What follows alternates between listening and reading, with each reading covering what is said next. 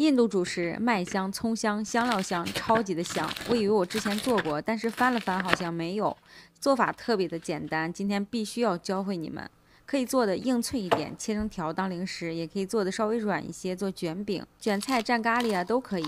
尤其是这样切成条做零食，糖量很少，薄薄的也不占肚子。建议你们追剧的时候吃啊。先来炸一个葱油，揉面、刷饼都是需要这个葱油的。切点洋葱丝，然后油呢盖过洋葱丝就可以了。冷油冷锅，小火一直把这个洋葱啊给它炸到焦黄的状态。趁热把炸好的洋葱压一下，油沥干。接着再来做一个洋葱碎，这个洋葱碎特别的提味儿，一定要做。囊里边加上这个洋葱，特别的清甜，比干葱好吃啊。小火来煸炒洋葱，加一点盐，盐可以吸出洋葱的水分。这样炒干后的洋葱味道会更甜，炒到这种洋葱比较散的状态就可以了。然后关火给它晾凉备用。接着我们来揉面啊，中筋粉加上盐，不需要高筋粉了。那咱们记得这个盐不要和酵母混合在一起，所以我先把盐和干粉混合，中间加水、糖和酵母，先搅和液体部分，把酵母、糖融化掉，然后再慢慢的拨面粉。这个面团是比较好揉的，它稍微软一点，但是又不是那么粘手，因为食材比较简单，并且这个使用家中的中筋粉就可以了。那如果你想用高筋粉呢，也不是不行，但是高筋粉做出来的馕会更有嚼头一些，更有韧性，吃起来更费牙。粉和面稍微拌匀以后啊，再把葱油加进来，葱油就是刚才我们炸好的晾凉的葱油。然后把葱油给它揉进去，因为是中筋粉，面团会很绵软，揉起来也不累手。稍微搓一会儿，当你感觉到面团有点粘手了，看不见干粉了，你就可以开始摔打一会儿。摔打也不需要时间太长，摔打到表面光滑。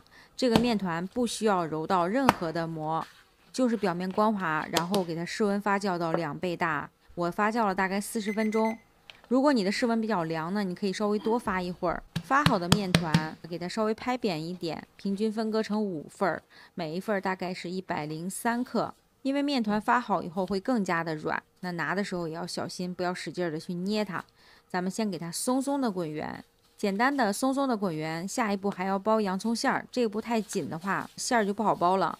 再从第一个拿起来，接口朝上按扁一些，把洋葱大概包进去七八克吧。包的时候啊，很好包啊。这个洋葱馅儿你不怕它粘在外边，那即使是粘在饼上也没有关系的。所以我们就大概给它包成大饺子形状，然后把接口朝下，滚一圈面粉。因为这个面团还是比较软的，滚一点面粉呢，放起来才防止它粘烤盘。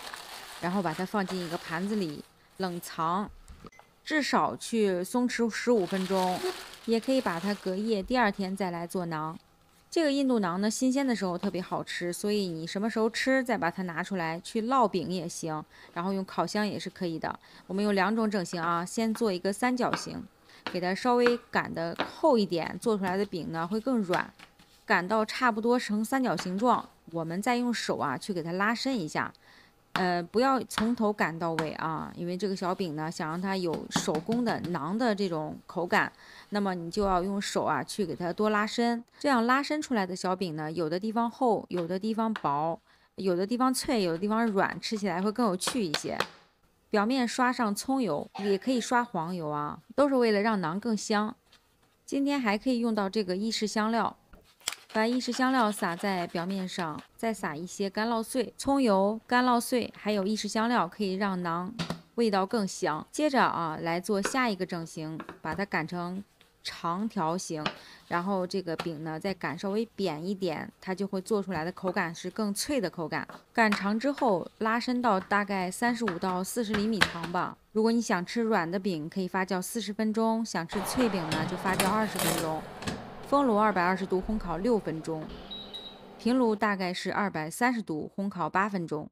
这个馕呢，现在算是半发酵的面团。如果你想吃稍微松软一点的，你也可以把酵母量稍微添加一点，大概三百克的面粉添加到三克的酵母，它就会更松软了。中间这个洋葱碎啊，炒软以后特别的清甜，你可以试一试。